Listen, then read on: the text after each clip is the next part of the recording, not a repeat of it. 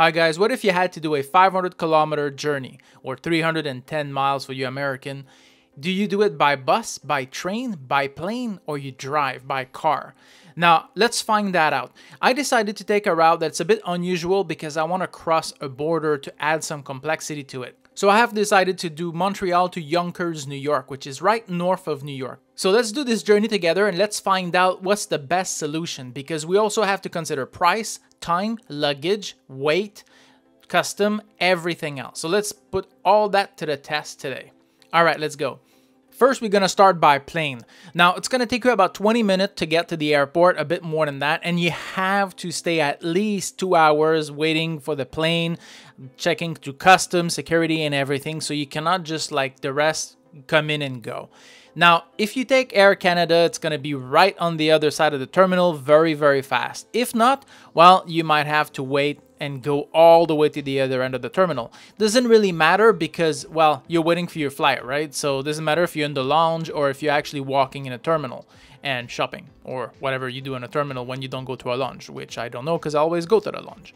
Then after that, the plane's gonna take off. You're not gonna have any meals or anything. The plane ticket is $134 one way from Montreal to New York. Now you're gonna land in JFK if you take a US airline and if you take Air Canada, they have a flight to LaGuardia. So the plane's gonna fly all the way to New York. Once the plane land, you're gonna get out of the terminal directly because you already passed custom in Montreal. Now I check at that price, there is no check-in luggage. All you have the right to bring with you is a carry-on. Now if you're elite with the airline, you're in business class, that's another matter, but this is not that scenario. Now the thing is, you're gonna be landing and it's gonna take you a bit of time, then you're gonna find your taxi, and from the taxi all the way there might cost you 100 120 dollars with the tip. And trust me if you're in new york they're gonna ask you for a tip before they even start the car and you're gonna get to your destination. So that's a scenario that i've done tons of time. It's pretty fast. The only inconvenience that i see with this one it's gonna take you a total of about four and a half hours. So yeah that might be your fastest way but it's definitely your most expensive now, if you decide to do it by bus, you will go directly to the terminal in Montreal. Uh, I decided to use Greyhound because it's one of the most popular.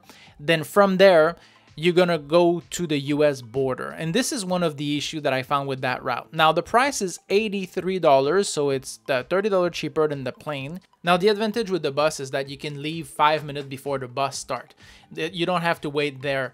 But you will arrive at custom and custom will take time. This is the issue. Sometimes you may have one person on the bus that's going to delay everybody.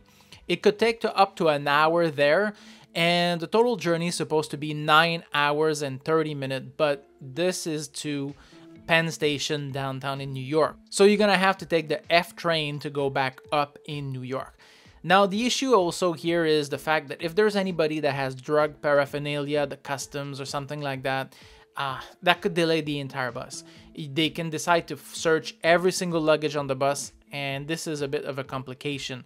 Uh, the next one we're going to try going to be the train and you're going to see that this is probably a better option when it comes to anything else. Because landing downtown New York right there and having to take your luggage and bring them all the way to Yonkers might be an issue. And here you will have a check-in luggage that's about 50 pounds. Now I checked with Greyhound they don't have a scale. They don't really check. So even if it's 70 they're gonna ask you to do it by yourself and that's it Another option that's pretty good is the train.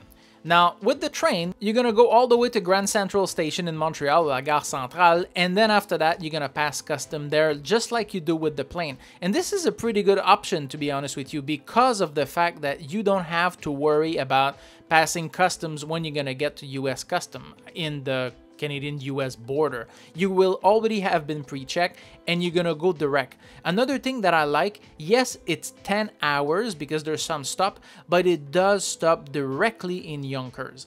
And you don't have to go all the way down to basically New York downtown and come back up north in this scenario. So the train is pretty good for that. They do check the weight if they feel that the luggage is a bit too heavy when they're gonna manipulate the luggage and your maximum would be two luggage at 50 pounds. So already it's double the amount that you'd be allowed on the bus, which is pretty good as well. You're gonna have the ability to have some food on the train, which is pretty good. And you don't have again to go downtown. It's gonna stop directly at Yonkers Station. So I think this is a good option. Now the price of the train is $61. This is by far the cheapest way I found to travel to New York from Montreal. Now my favorite one is by far the car. Because you can carry as much as you want inside your car, you can stop whenever you want and you have a car at destination.